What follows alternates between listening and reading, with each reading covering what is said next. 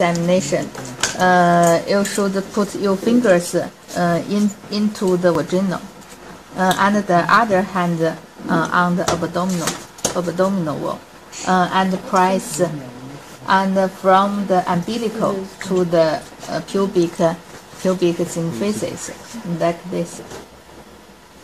And if you want to touch the uh, ovaries uh, on the both sides, from here to the pubic symphysis. And in vaginal, uh, you should put your fingers under the cervix, uh, then the other hand uh, on abdominal abdominal pen to to touch the, the uterus.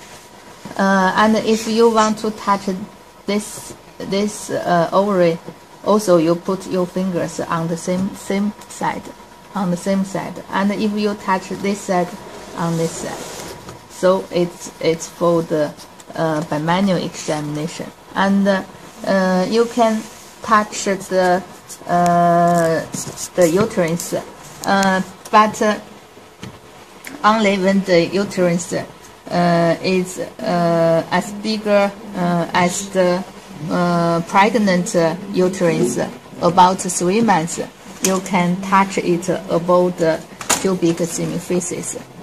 Uh, if uh, it's the, the normal size, uh, you only can touch it in, in the pelvic cavity.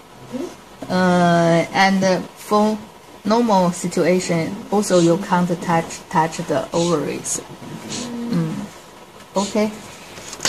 Uh, only this medal you can see you can see the the cervix. You can press on on this. What about this?